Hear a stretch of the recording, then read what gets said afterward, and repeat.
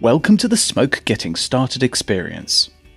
My name is Grant Kay, and I will be your guide through your first experience with Autodesk Smoke. Now, before you get started creating your own project, let's take a look at an example project so that you can have a detailed tour of the Smoke interface. The first item to point out is the menu bar at the top of the screen. This will give you access to all the basic functionality such as importing, exporting, generators, interface layouts, as well as preferences and help menus. Contextual menus are available throughout the interface by right-clicking at various locations. Smoke's working environment is called the workspace.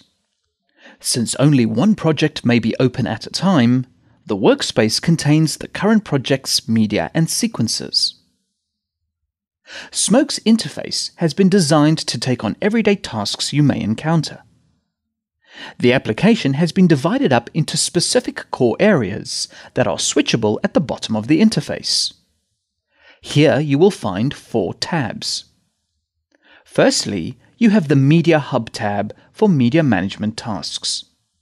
This includes media importing, exporting, project sharing, and archiving. The second tab is for timeline conforming from other applications.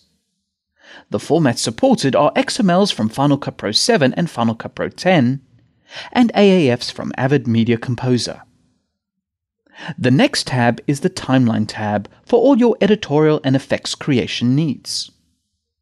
And finally, you have the Tools tab where you can perform a few creative and technical tasks outside of the timeline.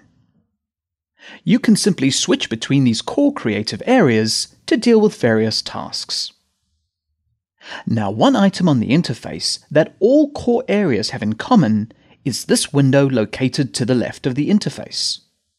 This is called the Media Panel. The Media Panel has a few sections, but the general gist is to manage and work with your media. You have a main library folder where you can have multiple libraries to host your media. The libraries are the equivalent of bins or folders where you can store your media and sequences. You can create and rearrange the folder structure to suit your media management needs. Please note that you have access to various media panel settings at the bottom of the media panel.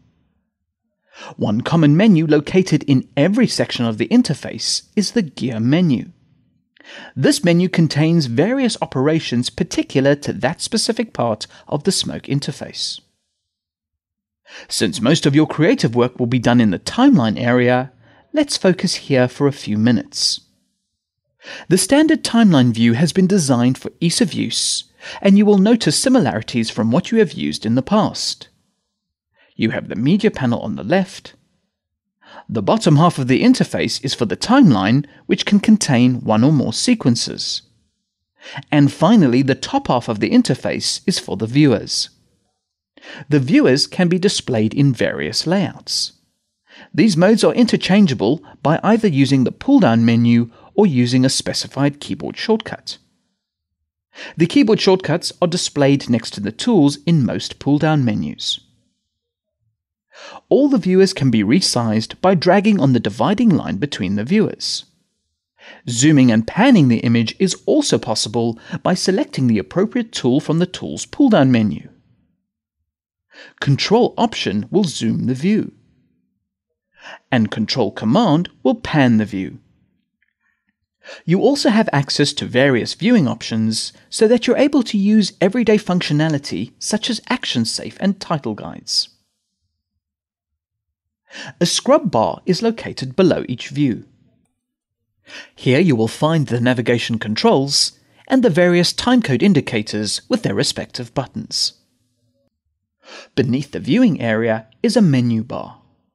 To the right of the menu bar, you will find the Insert, Overwrite, and Replace Edit buttons.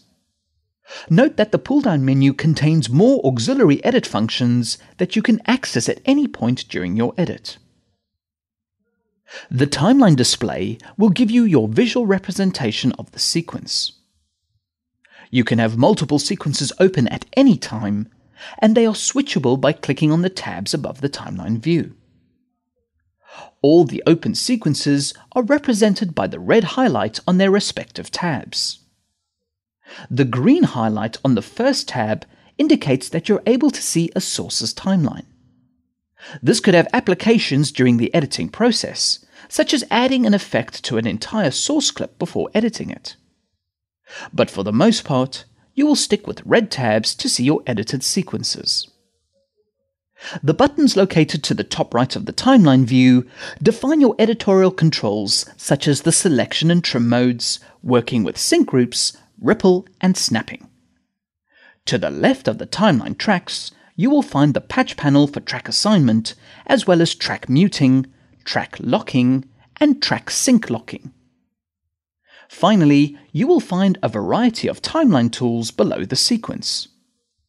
You will find operational tools in the Gear menu, sequence settings in the Options menu, and to the right of the interface, you will find the sequence searching and timeline display options for fitting the sequence to the timeline window in various ways.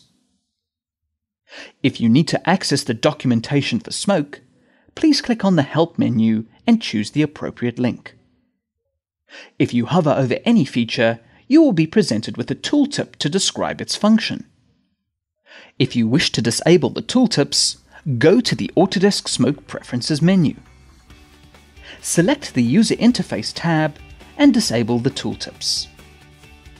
Click Close to return to the Smoke interface.